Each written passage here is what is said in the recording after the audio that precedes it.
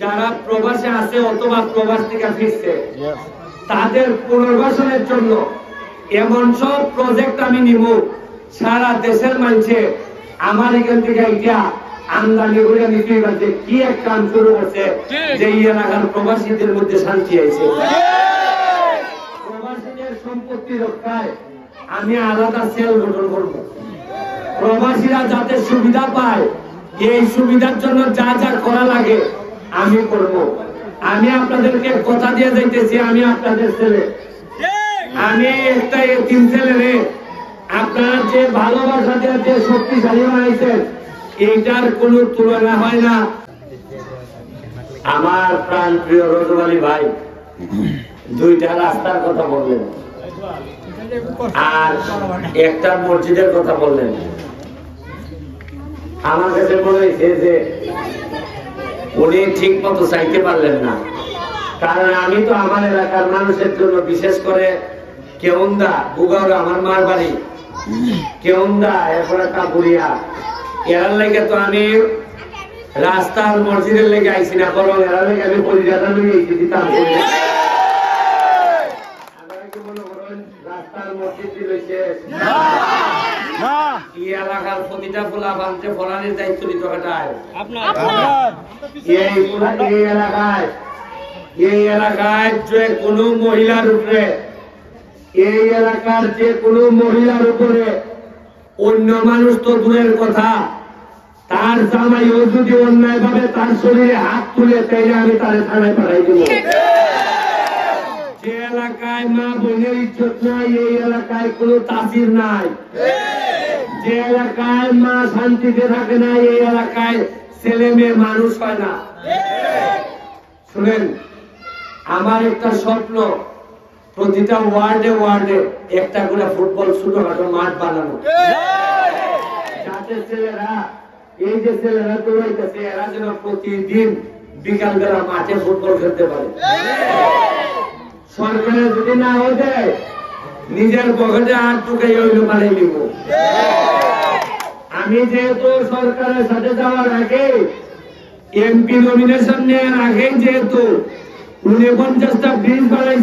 টাকা দিয়া, তবে মনে রাখেন, যদি আমারে আপনারা সাত তারিখে সপরিবারে ভোট দিয়ে এমপি বানান, তাইলে সোনারঘাট মাধবপুরের উন্নয়নের ইতিহাস আমি বর্তাই দেব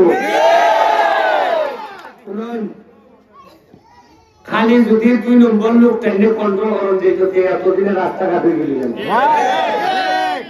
এমপি সাহেবের সাথে পুরায় হল মানে বেশিরভাগ ওই দুই নম্বর লোক।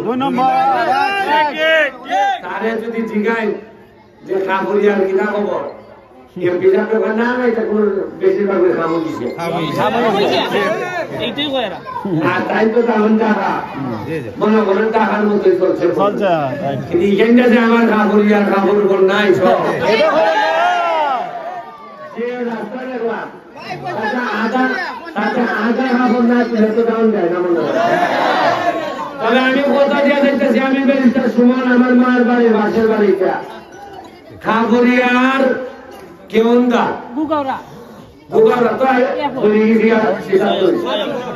আর তা এই জায়গাটা এটা আমি আগে মনে করতাম সাত নম্বর ইউনিয়ন আমি বলতাম সাত সাত কিন্তু এটা যে উন্নয়নের দিকে যে সাত নম্বর করা এটা আমার জানা আছে না মানে ইউনিয়ন পারে উন্নয়ন তো এক দুইটা কোনো নেই তিনও নাই চারও নাই পাঁচও নাই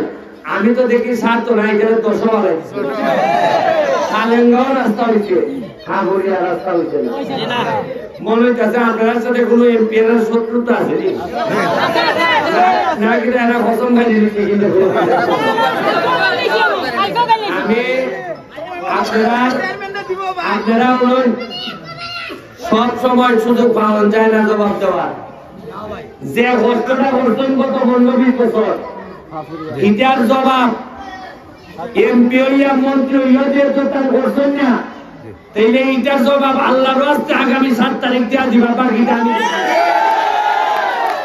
আমি আমার এলাকার প্রবাসীদের জন্য যারা প্রবাসে আছে অথবা প্রবাস থেকে ফিরছে তাদের পুনর্বাসনের জন্য এমন সব প্রজেক্ট আমি নিব সারা দেশের মানুষে আমার এখান থেকে এটা আমদানি করে নিতে পারছে কি এক কাম শুরু করছে যে এলাকার প্রবাসীদের মধ্যে শান্তি আছে।